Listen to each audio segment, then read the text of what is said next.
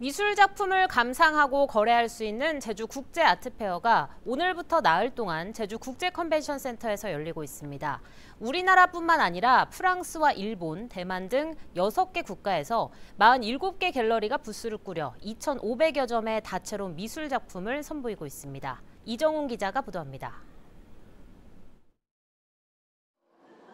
반딧불로 수놓은 곶자왈이 신비로움을 더합니다.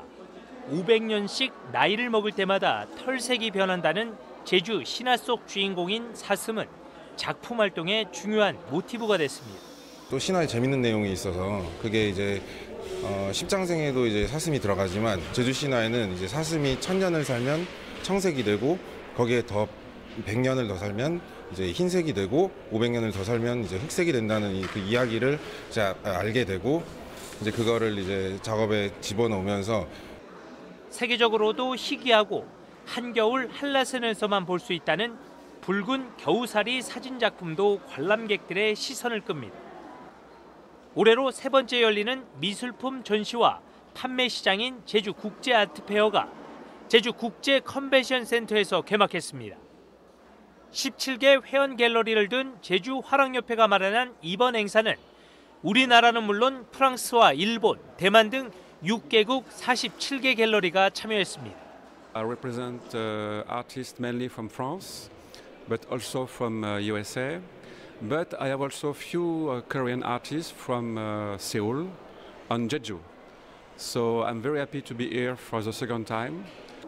장르는 회화와 판화, 조각과 사진, 공예까지 다양하게 선보이고 있습니다.